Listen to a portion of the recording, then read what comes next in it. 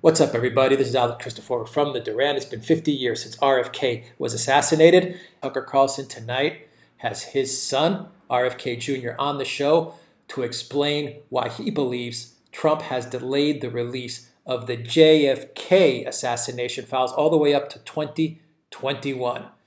Take a look at the video. It's, it's a fascinating interview from Tucker Carlson with, uh, with RFK Jr., who really dives into the, the conspiracy theory and the reasons why he believes the government is trying to cover up and trying to hide the real reasons why his uncle was assassinated. It's a great interview. If you like it, click that subscribe button down below. So click the notifications bell to get notifications every time we push out a new video. Visit the Duran shop, buy a shirt, support the Duran.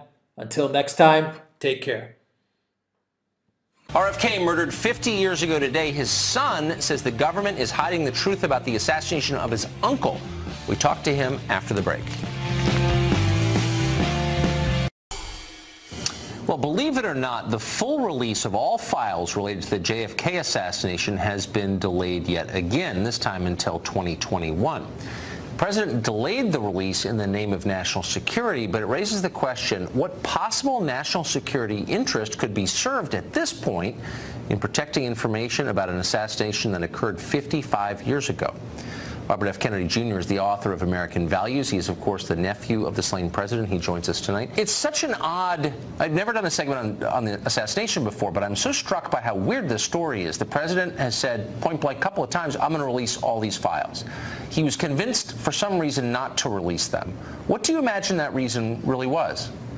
Uh, well, I share your mystification. But the, you know, when they, the stuff that's dribbling out um, it is information that tends to connect the CIA to um, to the assassination in one way or the other. I mean, the last one that they let out, what was it in November? They let um, they let a batch out, and that showed that Charles Cabell, who was the mayor of Dallas at the time my uncle was assassinated, was actually a CIA operative and had been a CIA operative since 1956. And then there was also some information about the automobile that showed that the window had been replaced. Um, again, information that 50 years later people should know about, people should have access to that kind of information. And it's kind of, it's bizarre that they still continue to sit on it. Do you believe that the CIA or another government agency was in any way involved in the assassination of your uncle? Well, I don't know. I don't think that that possibility has been eliminated. A lot of people don't understand that when John Kennedy was killed, my father really lost, was Attorney General. And so one of the defenses of the Warren Commission was, well, Bobby Kennedy was the best investigator of that era. He was like Mueller of that era. You know, he had been for 10 years, he'd been, investigating the unions and the, te the Teamsters and, the, and the mob. And so why wouldn't he investigate it? But the truth is that day that his brother was killed, he lost all of the investigative capacity at the Department of Justice. He had 30,000 FBI agents who worked for him, but he never talked to, to J. Edgar Hoover again, not a single time after my Uncle Jack was killed. Oh, he really had no, you know, because Hoover at that time began reporting directly to Johnson.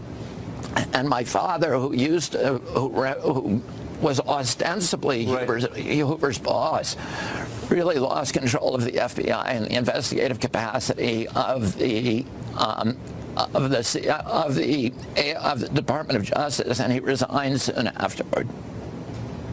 I just find the whole thing remarkable that the Attorney General of the United States, later a U.S. Senator, a person in a position to have a lot of information, would suspect his own CIA, and now the documents are still being withheld by that same agency. I think it's really fascinating. The book is American Values, Robert F. Kennedy Jr. It is out, and uh, we urge you to check it out. Bobby Kennedy, thanks very much for that. I appreciate it. We spoke at even greater length with RFK Jr. The full interview goes up on our Facebook page soon. You can search for the Tucker Carlson Tonight page and find it there. And that, sadly, is it for us tonight. Tune in every night at 8 p.m. to the show that's the sworn enemy of lying, pomposity, smugness, and groupthink. Good night from Washington. The great Sean Hannity, live from New York. All right, Hey, Tucker, Sean. great show as uh, always.